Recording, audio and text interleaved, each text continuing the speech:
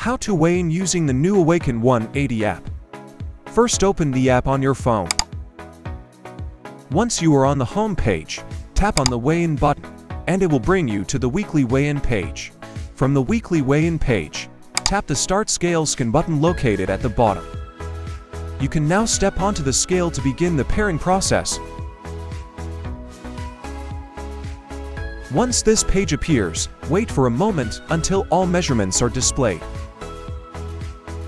Note, always use the scale on a flat hard floor surface. Allow the app to access your Bluetooth. Do not wear shoes or socks when weighing yourself. Do not use the scale on a carpet or soft surface. Do not step down from the scale until you see the final measurement. After all the measurements are displayed, you can step off the scale and tap Save. At the top of the screen, a confirmation message will appear stating, Congratulations on completing your weigh-in. But wait, there's another way to access it. Once you are on the home page, tap anywhere on the graph, as shown, or tap the metrics icon from the main menu. From the Trends page, tap the plus button.